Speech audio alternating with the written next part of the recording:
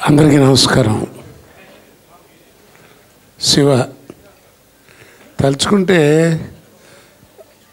నాకు అసలు ఆ సినిమా నేను ఎలా చేశానో కూడా నాకు తెలియదు. అంత తొందరగా అయిపోయిందండి. ఒకే ఒక్క రోజు యాక్ట్ చేశాను. నేను ప్రసాద్ ప్రసాద్ అంటున్నా హైదరాబాద్ చెన్నైలో విజయవాహిని స్టూడియోలో సెవెన్ ఎయిట్ సిక్స్ పిక్చర్ చేస్తున్నా. మధ్యలో ఒక ఆయన వచ్చి ఏమండి రామ్ గోపాల్ వర్మ గారు మీకోసం వచ్చారు అన్నాడు. సాయంకాలం ఒక త్రీ థర్టీ ఫోర్ అట్లా.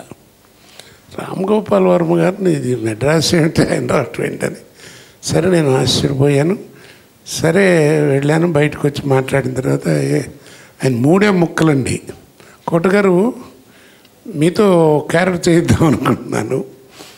వన్ డే వర్క్ ఉంటుందండి మార్నింగ్ ఫ్లైట్కి వస్తే ఈవినింగ్ ఫ్లైట్కి పంపించేస్తాను. మీరు చేయాలి అన్నాను. అదేంటి బాబు తప్పకుండా చేస్తాను అన్నాను. చేస్తానండి అన్నాను.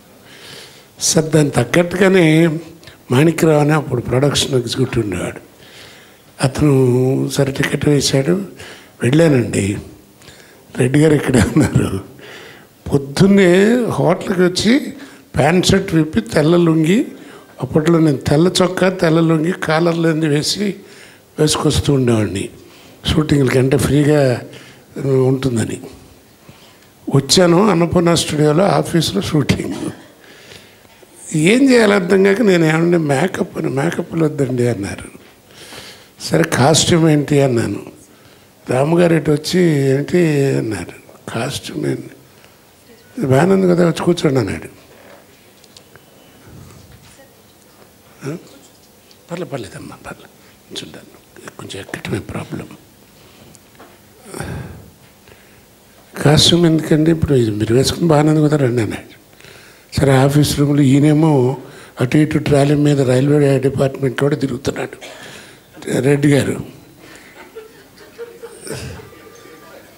రైల్వే ట్రాక్లో తిరుగుతున్నాడు తిరుగుతున్నాడు. నాకు అప్పుడు అనిపించింది అన్నిసార్లు తిరుగుతున్నాడు కళ్ళు తిరగవా అని. ఇండస్ట్రీకి వచ్చిన కొత్త ఎనభై తొమ్మిది. సరే వెళ్ళని అయిపోయిన తర్వాత కుర్రాళ్ళు ఏదో గొడవ చేస్తున్నారంట్రా ఏంటి ఆ మాత్రం చేయలేరా పిచ్చోళ్ళారని ఏదో తిట్టాలి. ఏదో చెవులెట్టు అనుకుంటూ మామూలుగా చెప్పాను. ఓకే అన్నాడు ఆయన. అసలు నేను అసలు యాక్ట్ చేసినట్టు కూడా తెలియదు నాకు. ఓకే అన్నాడు. నాకేమో ఆశ్చర్యం వేసింది. ఇదేంట్రా అని అయిపోయింది. తర్వాత ఇంకా ఆశ్చర్యం ఏంటంటే లొకేషన్ షిఫ్ట్ అన్నారు. నాగార్జున గారు. ఫస్ట్ టైం నాగార్జున గారితో ఫేస్ టు ఫేస్ చూస్తున్నా పైగా డైలాగు. మీ ఏంట్రా డైలాగ్ వచ్చింది అనుకున్నాను. గేటు దిగ డోర్ దిగగానే ఎదురుకుండా ఉంటాడు. శివ అంటే నువ్వా?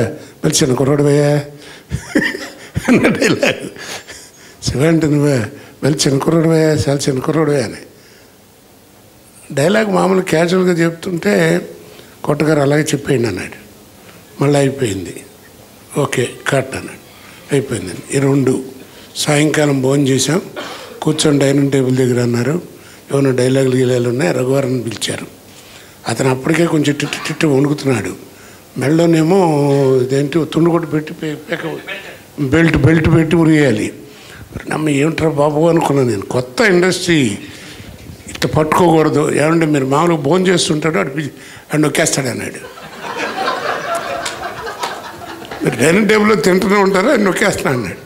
అసలు మన నాకేం తెలియదు నాటకాలు వేసుకునేది వచ్చినవాడిని అసలు ఆ ఫైట్లు గిట్లు ఎట్ట చేస్తారో కూడా తెలియదు ఆడు కటక్కనంటే అన్నాడు నాకు వేలిట్టు పెడతాను కూడా సందు లేదు. కానీ నేను ఎంత భయపడ్డానో కానీ గ్రేట్ యాక్టర్ అండి రఘువర్ణం. ఈ వెనకాల వాడు వేళ్ళెట్టు ఇట్ట అడ్డం పెట్టాడు ఈ అరిచే అడ్డం పెట్టేసి లాగుతున్నాడు అనమాట నాకు ఎక్కడ ఏమి ఇబ్బంది లేదు. అలాగా అప్పుడు సినిమా రిలీజ్ అయిందండి. రిలీజ్కి ముందు నాకు ఇప్పటికీ గుర్తు గుడ్లక్ థియేటర్లో షో వేశారు హైదరాబాద్ చెన్నైలో మెడ్రాస్లో మా ఇంటి దగ్గరగా ఉండేది. కృష్ణవంశీ గారు కూడా వచ్చారు ఆ- దానికి. అప్పుడు వర్క్ చేశారో మరి ఏం తెలియదు కానీ మొత్తానికి వీళ్ళంతా వచ్చారు. సినిమా అయిన తర్వాత కోటగారు మీ అభిప్రాయం ఏంటి అండి? అన్నారు. నిజంగా సార్ నా నోటమ్మటి వచ్చింది సక్సెస్కి దీని యొక్క కొలమానం ఏమిటో తెలియకుండా అంత సక్సెస్ అవుతుంది అన్నానండి. అలాగే ఆ రోజుకి ఈ రోజుకి కూడా ఇందాక వారెవరో మాట్లాడినట్టుగా తరతరాలకి నిజంగా చెప్పాలంటే ఓ సోషల్ పిక్చర్స్లో మనకు ఒక మాయాబజారు అలాంటి సినిమాలు ఎలాగ మనకి కొన్ని పిక్చర్స్ ఉండిపోయినాయో రామ్ గోపాల్ వరం గారు చేసినటువంటి శివ సినిమా మాత్రం చాలా గొప్పగా నిలిచిపోయిందండి నిలిచిపోతుంది కూడా. దానికి క్వశ్చన్ లేదు. సరే ఇందాక చెప్పినట్టు రామ్ గారు ఎంత ఓపెన్ మైండ్ అండి అయింది. దానికి ఇళయరాజా గారి గురించి ఎంత గొప్పగా చెప్పారు చూడండి. ఆ యాక్సెప్టెన్స్ అందరికీ ఉండదండి. ఇక పెద్ద వింత ఏంటంటే నాకు ఇండస్ట్రీలో అప్పటికి ఇప్పటికి తెలియంది నాగార్జున గారు అప్పుడెట్టడు అప్పుడు కూడా అట్టగా ఉన్నాడు. కనీసం నాకు కాలు నొప్పి అని వచ్చిందండి అసలు మనిషికి ఏమీ లేదు. అసలంటే గ్లామర్ అట్టాగా ఉన్నాడు మనిషి. అమలు గారు సీక్రెట్ అంటే మాకు తెలియదు కానండి మొత్తానికి. చక్కటి అసలు ఆ చక్కటి చిరునవ్వు ఇది ఎంత పైగానండి రామ్ గోపాల్ వర్మ గారిది చాలామంది చాలా రకాలుగా అనుకుంటారు కానివ్వండి. నాకు బాగా తెలిసినటువంటి విషయం ఏంటంటే ఆయన సినిమాల్లో మంచి ఫ్యామిలీ డ్రామా ఉంటుందండి. అసలు ఒక మంచి ఫ్యామిలీ డ్రామా ఉంటుంది. శివలో ఉంది గాయంలో ఉంది. అలాగా మీరు ఏ సినిమాని తీసుకోండి. ఒక చిన్న ఫ్యామిలీ డ్రామా ఉంటుంది ఆ ఫ్యామిలీ డ్రామా ఉండటమే ఆ సినిమాకి చాలా గొప్ప సినిమా. ఇందా డైలాగ్ చూడండి. నాతో ఉంటే మా అందరికంటే కూడా నీకే ఎక్కువ రిస్క్ ఎంత నీట్గా ఎంత క్లియర్గా ఉంటుంది డైలాగ్ కూడాను. రాసిన వారు అంత గొప్పగా రాశారనుకోండి చెప్పించడం చెప్తున్నాను నేను అంత గొప్పగా ఉంటుంది. తర్వాత ఈ సినిమాతో నేను నేర్చుకున్నది నిజంగా యథార్థంగా డయాస్ మీద ఉండి చెప్తున్నాను. క్యాజువల్ యాక్టింగ్ అంటే ఏమిటో నాకు తెలిసింది ఆ సినిమా అండి సార్ ఫ్యాక్ట్ ఐఎమ్ టెల్లింగ్ నేను సంత వరకు నాటకాలు డ్రమటిక్ కదా కొంచెం పావలాకి రూపాయి పావలా చేయటం. కదండి? ఇప్పుడు ఎందుకంటే ఇప్పుడు నాటకం అనేటప్పటికీ అలా రో వెళ్ళిపోయిన కొద్దీ నేను ఫేడ్ అయిపోతాను కదా. అందుకని నా మొహం కనపడటం కొసెట్టా ఊపి చేతులు ఎత్తి అవి ఎత్తి అరిచి చేసి నానా బీభత్సం చేస్తాం. అంటే ఈ సినిమా చూసిన తర్వాత నేను నిజంగా డబ్బింగ్ చెప్పేప్పుడు అనిపించిందండి.